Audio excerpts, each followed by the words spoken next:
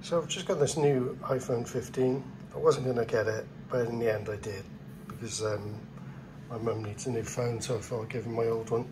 And it's stuck on this, stuck on the software update. It's been like this for about two hours.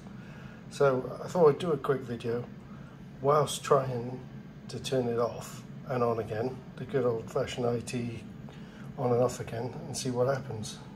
So I'm pressing both the power button and the up button, see if anything happens. No, won't power off. So, oh, that action button's caught me out. I was pressing the action button. So let's try the up and power again. There we go. Slide it off. That's going to take some getting used to. My work phone's still got the rocker switch, but having that switch, the action button, instead of uh, the little rocker switch will take some getting used to, but it's a welcome thing because the amount of times I've knocked that without realising. Right, let's turn it back on.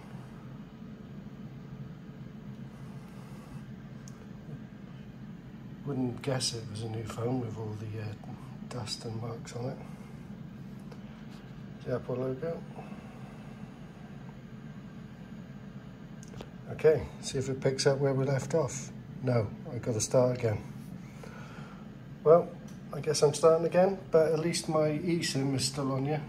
So that's something. At least I haven't got to transfer that again.